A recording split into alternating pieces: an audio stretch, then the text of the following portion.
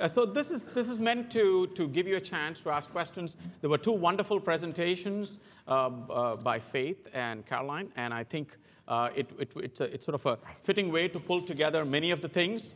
Uh, uh, so I know you missed it, Caroline, but in the morning we had a blockchain that was going to track every coffee bean. Aaron is Yes. out there in the audience. So We are uh, doing that. So any questions? Yes, go ahead. Hello, uh, I'm Maria from Michigan State. Um, I think that you both touched on, you know, more of a positive side of ethics, making sure you're developing suppliers and they have resources for continuous improvement as well. I'm curious to know how you mitigate any risks between working with international suppliers who are underdeveloped, whether that be in their reporting systems, in their communication systems, and how you mitigate that risk throughout your company when it comes to overall communication and productivity. Okay, so I, I'll start with that. Um, so we we how do I say we leverage the um, the plants and the resources in the in those countries that we have plants. So, for example, in India, we source a lot. We source a lot in China, and we have plants and we have infrastructures in both. So we have so we count on the. So if I have a plant in Three Rivers, Michigan, who has an issue with a supplier in India, we send the India team over there. So we leverage across um, functional areas and our business units to do that. And at Starbucks, um, we have the third-party verification program, and all of our suppliers that work with us have to go through an ethical sourcing assessment. Uh, depends on the risk criteria. Sometimes it's a self-assessment. Other times we actually do send people to their factories to do physical um, inspection. And oftentimes we do find double sets of books or we find unsafe working conditions, in which case the supplier gets assigned a zero tolerance rating and we're not able to procure the products from them until they mitigate all those issues. So once again, even though we say we're not going to source from you now, if you do want to do business with us in the future, you really have to fix whatever the list of issues is. Um, more, most, more often than not, they actually do fix those issues because ultimately they do want to supply to Starbucks. So that allows us then to actually see, you know, a bad situation get better because we're very strict and we're like, we're not, we're not going to work with you right now.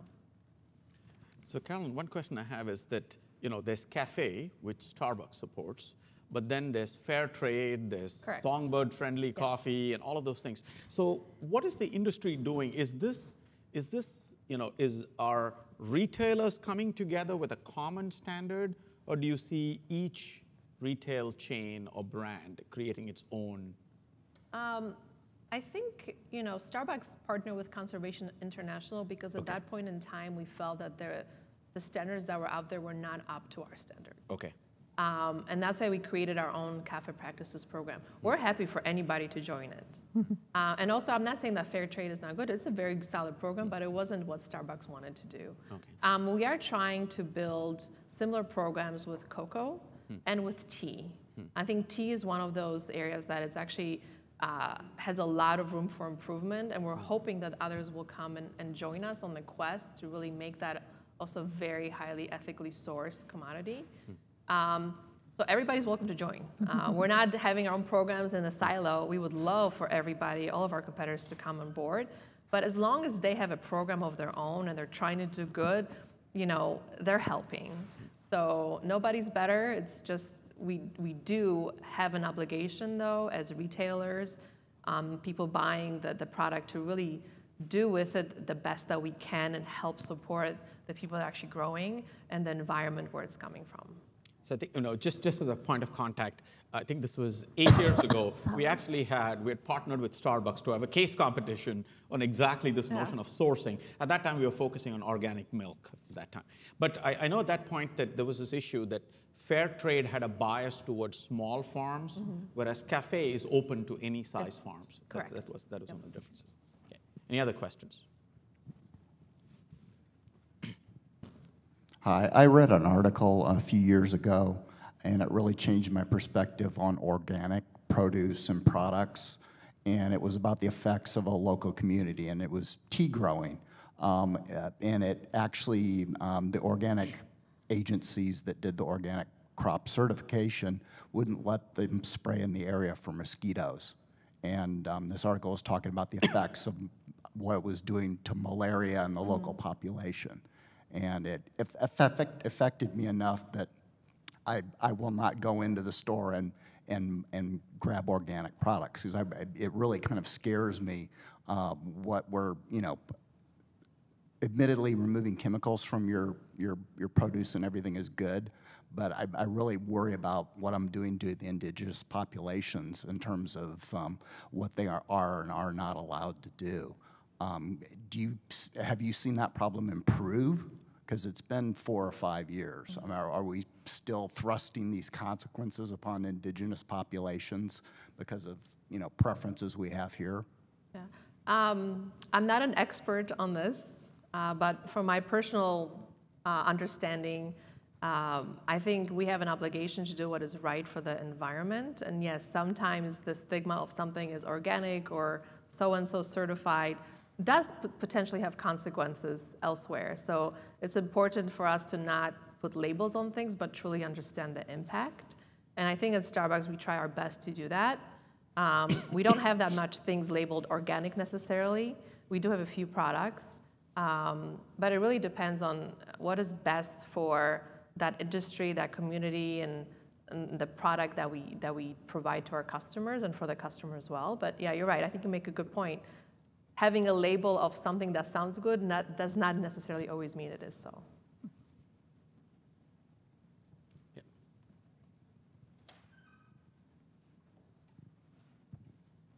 Hi, I'm Suraj from Michigan State, and uh, my question is related to supply chain visibility. So when it comes to visibility, we need data, and in a manufacturing setup, we get that data from uh, ERP systems. So while working in a manufacturing setup, one of the challenges I realized is because you have so many ERP setups and you centrally manage, see the data. So there are constant changes in the logic, and also you keep on adding some new things. So being on the top of the management, when you make decisions, how do you trust that data? And if you have faced such issues, how you uh, tackle those? Okay, so I think that one's for me. um, so we, we implemented, you're right, so we have, um, we had the seven, 17 plans, they're very, very standardized, and now we have 75 plans, and they're very, not very standardized. So what we implemented was the very, very supply, supply chain basics. Okay, so every plant has to follow these specific supply chain basics, even though we're on, um, I think we had 31 different, we went from one ERP system to 31 different systems. If you count like JD Edwards, we had four different versions.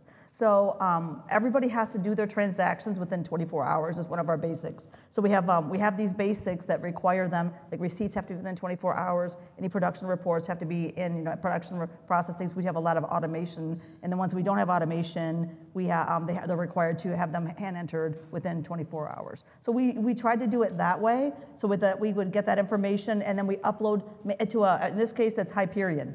So we have a standard, even though we have different systems, we can, we pull that information up that we can get at it in a couple different places. BI is one of them, which is where all the data sits and all the financials sit in Hyperion.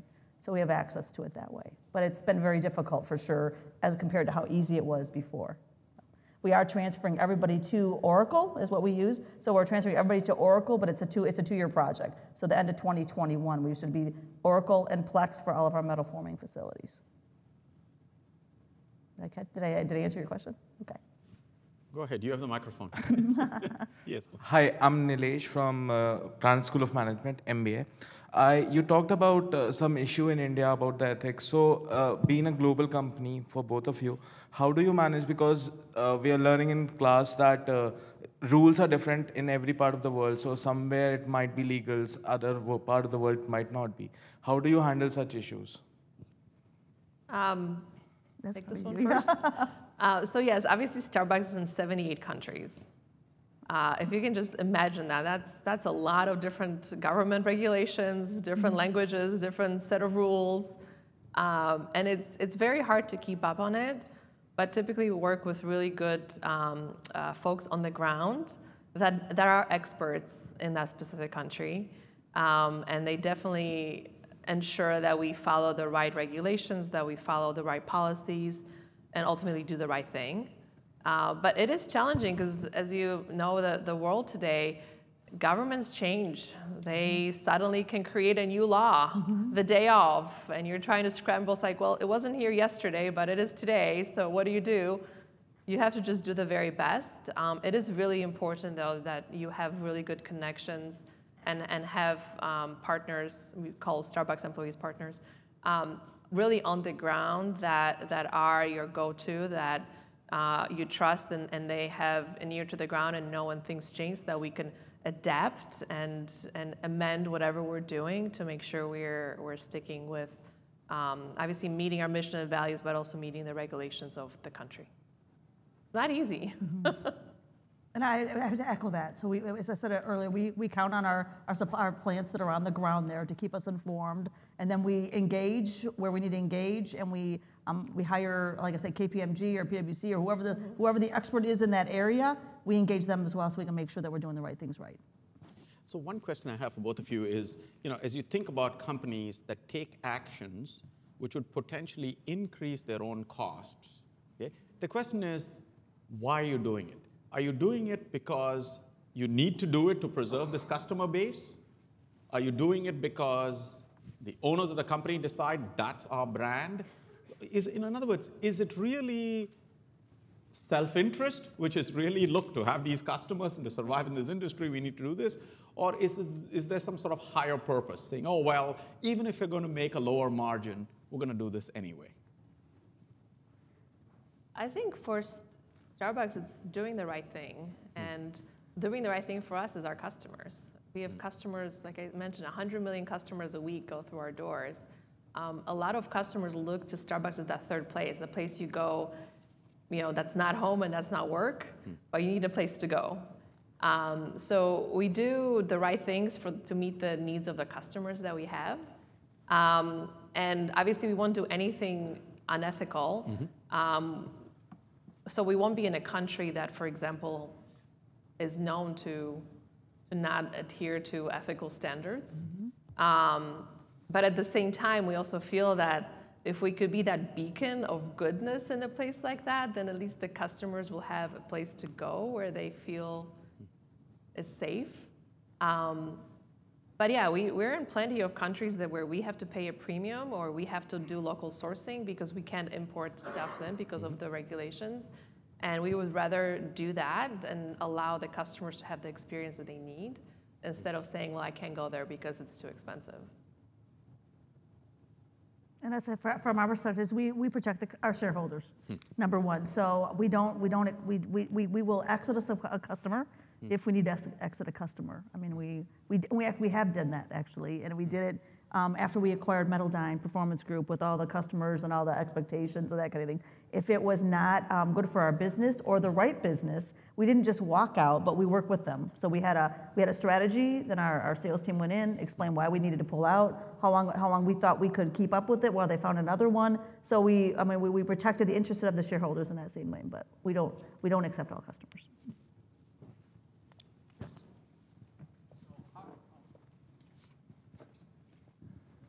Hi, everyone. So I'm Casper. Nice to meet you all.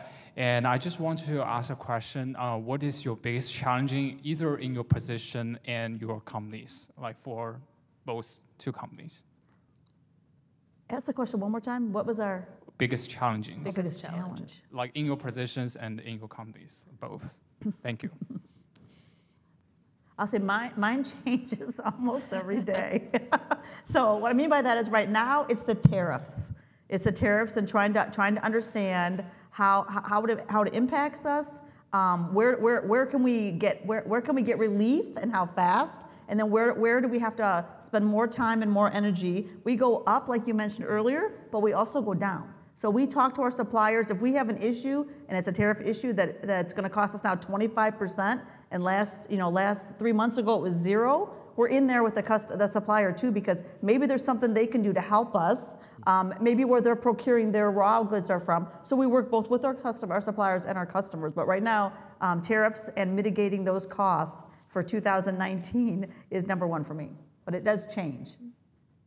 Yeah, I think um, tariffs, mm-hmm. uh, driver costs, labor costs, commodity costs going up is, is a challenge. But specifically in Starbucks in Seattle, uh, our, one of our biggest challenges is actually finding really good supply chain professionals. The reason is there's such a um, high demand for supply chain in Seattle because of Amazon. uh, that it's actually really, really hard to, um, to retain talent because Amazon is known for throwing buckets of money at somebody. Um, and it's really, really challenging finding really strong supply chain folks uh, to not take the nice little package over at the next guy next door. uh, usually they come back after they vest, so it's okay, but um, it's, it's actually very challenging. So for those of you that may be in areas where Amazon is moving into, watch out. And if you're from Amazon, I'm still a fan and customer. So, so, so when is Amazon going to deliver Starbucks coffee? Hmm. Well, so we, you know, it would be great if to press a button and have Amazon. Yeah, exactly. Here. Well, we are actually working on rolling out uh, delivery with Uber Eats. Hmm. Um, we've rolled it out in Miami, and we're rolling it out in New York and Chicago and Seattle. Um, so we're trying to figure out how to do it the most efficiently way. And obviously, the challenge is not all beverages are really conducive to delivery. If you have whipped cream in it, it probably melts. Um, but we are actually doing that by trying to meet the customer where they're at, and sometimes they're at their desk and they don't want to leave their house. So um, trying to meet that need state. so, so I've been told, I, I found out from our kids, that insomnia cookies can figure out where you're sitting in the library and come deliver the cookies to wow. you. Because mm. one of my daughters shipped cookies to our other daughter who was in the library, and they took a video of them delivering the insomnia cookie to where she was sitting in the library at midnight. So might, I might need to talk to them. Yeah, yeah. So exactly. So send the coffee along. Any other questions? Yes, yes. hi. Um, thank you both for being here. Uh, my name is Lola, and I'm from Georgetown University. Uh, one thing that we focus on is kind of cultivating the uh, entire person, and when it comes to risk management, it's almost less a question of when like it's going to happen we know that it's inevitable. So my question is really around what sort of leadership skills do you feel like you've had to develop in order to address um, risk and challenges when they do occur um, at your companies well, supply chain risk at American Axle is one of we, we have enterprise risk. We, we have risks all through our um, through supply chain, of course. But um, American Axle has enterprise risks, and, and supply chain is one of the top risks of the company. So I spend a lot of time um, in with the risk policy company. I'm actually on the risk, risk policy. Um, so it's, it's really important um, all the way through our supply chain that we, we mitigate the risks. We have backup plans, backup modes is what, remember I mentioned earlier, supply chain basics. One of our supply chain basics is backup modes to make sure that no matter what process we have inside our plants and all the way through in supply chain, that if something doesn't work, that we have another way to get it done. So if it's a, it's a system issue, system um, process, that we have a manual process backup, that kind of thing, or an advanced supply chain, um, excuse me, advanced ASN provider, that we have a backup provider. So it's, it's I would say, um, think about that as, as, when you said yourself personally, when you get somewhere and it is your first job or your second job, or as, you as you work through that, um, make sure that you're thinking about that personally. That if something if something you're doing is important, then if and if if those tools are taken away from you, how are you going to do it? And then build that in yourself. You'll you'll be you'll be a step ahead of everybody else. And um, from a Starbucks perspective, we really take more of a, a personal approach. Um, systems and processes are great, but it's typically the people that do them that either do it well or not well. Um, so we try to build really strong relationships specific with our suppliers, which helps us mitigate risk. Um, if a supplier knows they have a win-win relationship with Starbucks, typically if something goes wrong, they're, they're able to really adapt to the need that we have in that point in time. Uh, same thing with partners at Starbucks. Not, not, nobody's perfect. Everybody has their down days. Um, and you know, your question about data, data isn't very clear all the time. You really need, once again, a human to analyze this data and make sense of it. Um, and so it's really important to focus on the people and provide them the skills and the tools and the processes to really make their job easier so that when a crisis does arise or there's a risk that they identify, they know how to react to it. And they don't panic, they just know what what steps to go through to help mitigate it to the best of our abilities. Any last questions? Yes. Oh, wait, two last questions. go ahead. Uh, so you've talked about safety and quality, and you know anyone can uh, stop the line. So my question to you is, how do you ensure that you deliver on time and in full? If anybody can stop the line, then how do you deliver? Oh, how, okay, sorry. Um, Well, we, we we have to react fast. So obviously, if, if somebody stops the line, the supervisor's right there. Our supervisors don't leave the area, so they have to stop the line, and then we figure out what the issue is. And many times, it's, it's not, it's not something that's gonna cause us to stop a long time, but, but, but we react very quickly that way, and then we have a, um, there's a, actually, most of them are music, but not all plants now, because we're not completely standardized, but usually then, if it's something that's serious, that we need more, they need more people, then there's a code that goes through the, through the facility where people will come and, and try to fix it very, very quickly. Okay, so that mitigates to uh, that mitigates all the risk uh, of you know on-time delivery. For instance, you mentioned uh, you know you keep low inventory. Um, so what happens in that case? Well, I mean, if we impact the customer, it costs it costs a lot of money, up to seventy-five thousand dollars a minute, right? So um, we have uh, we protect with um, we have different kinds of safety stocks, right? So finished goods is where where we keep the most. Um, we protect the customer the most with the with that. But we are on the phone with them. So if there's something that's going to going to cause them to impact them, we're talking to them. And our and our, our initial um, process is to try to get them to build something else so it doesn't impact, impact them as, as um, dramatically. But we, we, have, we have impacted lines for sure, but we try to mitigate that. So um, standardized work is a big thing, and I probably should have mentioned that earlier too. But standardized work is it's the most, um, it's the thing that can, um, it's, repeat, it's repeatable and it makes it robust. So when we do standardized work in our facilities, our plants, every, every associate does the same thing. So you, if you're doing an operation on first shift or second shift, you can't do it your own way. You got to do it through the standardized work. And we improve the standardized work. Um, if somebody thinks they can do it better, we have a process to, to improve it that way. But that really helps us with keeping things repeatable and robust so we don't have those interruptions with the, in the supply chain. We had one last question. Uh, hi, my name is Aishwarya, and I'm a Krannert Master student. Uh, so since morning we have been speaking about we analyze the ethical standards of our suppliers, but uh, are we also looking at ethical standards of our customers? So if I have to put it in, in context, for American Axle, if uh, Volkswagen happened to be a customer, and so do we compromise uh, getting a customer versus uh, not knowing if they have the right ethical standards? So, so I, I, got everything except for on the, on the, so ask the question at the end. Uh, so with the customer, do we compromise? So do we also look at the customers as ethical standards with whom we are doing business or do we also, do we no. just look at the suppliers? No, not, no, we don't. We, um, we follow their standards that they give on us, but no, they're sourcing us. So we don't, we don't go into their, their systems. We, we're very close with our customers, but no. So if I interpret a question, yeah. what she's saying is, you know, Volkswagen had egg on their face. Yep. If you have axles in a Volkswagen product, do you worry that some of that egg transfers to you? Oh yeah, I mean if you if you look at the Takata. Is that your question? Yeah, like the Takata, the the, the what are the, the um, airbags. Yes. I mean that's a mess. That that that company's a mess right now. So definitely, which is why um, quality is number one. It's it's safety's number one, but quality is a very very close number two.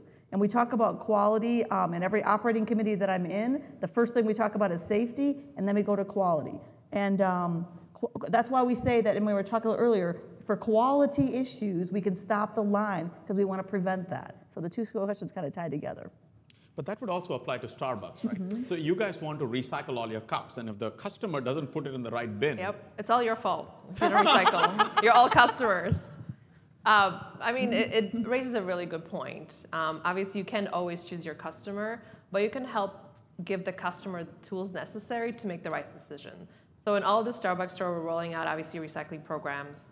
So hopefully it's going to help the customers make the right decision of where do you put that cup? Does it go in this bin or does it go in this bin?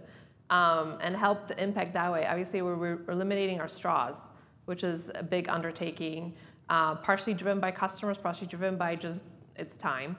Um, but it is a, it's a joint effort, as I mentioned in my presentation. It's not just one side doing it all. Uh, we all have to come together to do the right thing. Um, and sometimes it's, it's hard. It's not easy, and sometimes it's more expensive.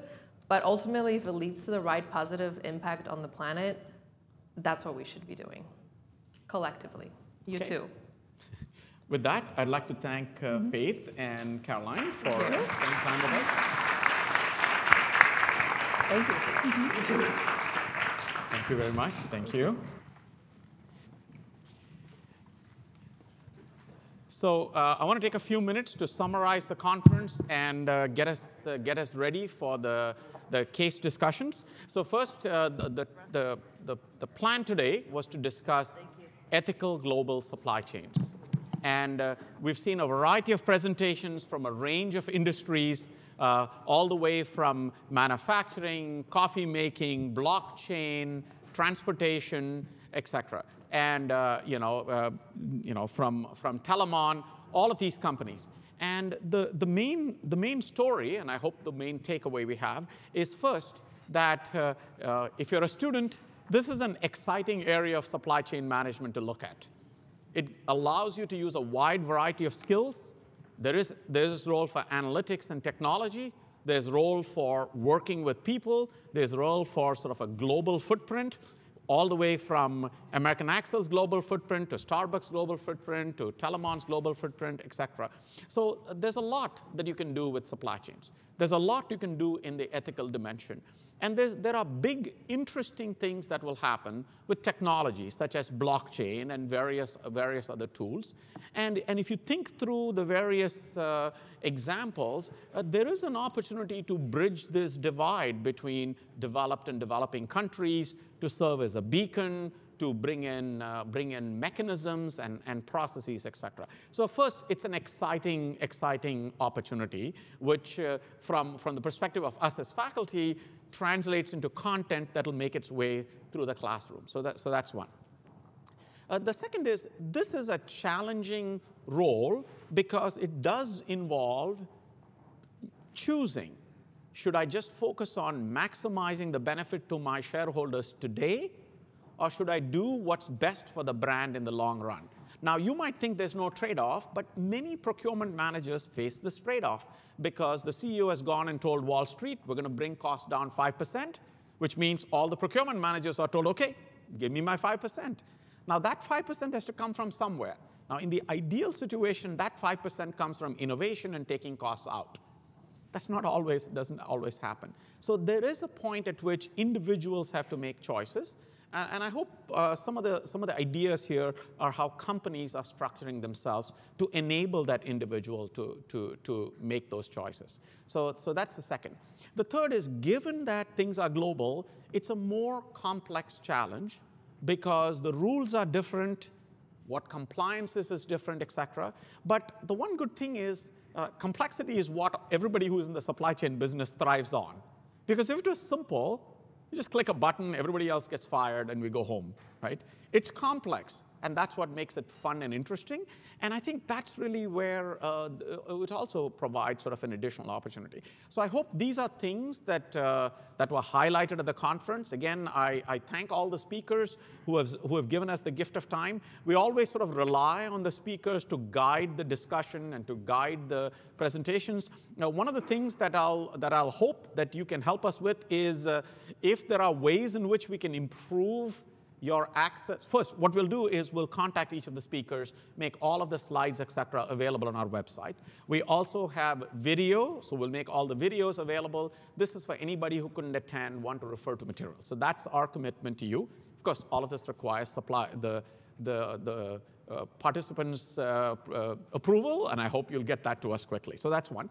Uh, we do want to think of this, uh, what we are trying to do as a center is to increase uh, what I'll call our digital footprint. So the way our digital footprint manifests itself is uh, between all the student GAs and myself, we create blogs, we create small videos, et cetera, all around themes. And I think for the next sort of month or so, we'll have a lot of uh, student GAs work on creating these blogs. And I think that'll, you know, that can be used as a, as a source of information. But uh, the one way that you can help us is if you don't mind taking a minute or two and sending us uh, uh, you know, suggestions for improvement or suggestions for topics that are relevant in your industry and up and coming, all of that, all of that would be, would be much appreciated. Uh, I do want to take the time to acknowledge all of the student GAs who are involved. So if you don't mind standing up, that would be great. Maria, you need to stand up. Everybody else, they're the guys there. So uh, all of the, and you see a lot of our GAs at the back. So these are the guys who help us run this conference. There's a lot that happens. The planning here, literally the moment we end, Within a few weeks, we're thinking about the fall conference and the spring conference and the topics for it, et cetera. One of the reasons is that at Purdue, as I may have told some of you, we try to reserve room 10 years in advance because that's how far you have to, uh, you have to plan in order to get rooms. So uh, we do, first, we want to acknowledge the students. Uh, second, uh, we'd like you to send us ideas on ways we can improve because my belief is that there's always room for improvement. Uh, third, we would love for you to stay immediately. We, we get a short break. Okay, uh, you get a short break to have some coffee, but we would love for you to stay here because we have six teams that are going to compete for some real prize money that has been sponsored by General Motors and ArcelorMittal. Yeah, so these are the companies that have sponsored the prize money. So we would love it if you stayed. Uh, there, there was an interesting case. We'll hear more about the case. Are there copies of the case available for people to? Okay, so there are copies of the case available. If you want to browse through the case quickly after you have a cup of coffee, that'll be great. But uh, the case focused on some ethical challenges associated with procurement, and I'll let the teams describe the rest of it. Okay, so uh, please, please take the time to have a cup of coffee. Join us, uh, join us back again. If you need to leave because you have a long drive, and I hope most of you don't have to, but if you need to leave, thank you again for coming. Thank you to all of the faculty for attending. And we look forward to you being here uh, in a few minutes after I. Okay. So fall, this by the way was spring, as I informed you. This is spring. So fall, September 27th is our fall conference, and our fall conference is always focused on manufacturing, advanced manufacturing. So we look forward to seeing you there. Uh, however, for now, thank you very much. Thank you to all the speakers. Uh, please do take a short break and uh, have a cup of coffee. In a few minutes, in exactly 10 minutes, the first team will be queued up. Uh, the organization of all of the, the presentations will be done by our students, so uh, we're going to step away and uh, allow you to take a cup of coffee. Thank you again. Bye-bye.